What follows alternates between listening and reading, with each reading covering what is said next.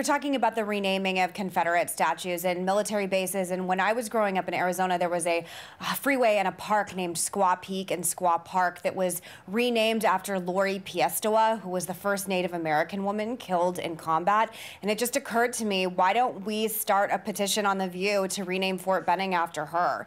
Because it is someone that I think we can all celebrate. She's a moment in history. And it actually, when the name was rechanged in Arizona, it was really celebrated. And I think that as long as we start highlighting wonderful icons like that in our military history, I really think it is something people can get on board with. And I just had that idea in the show, and she's loved and celebrated in Arizona, and I think we can name more things after her.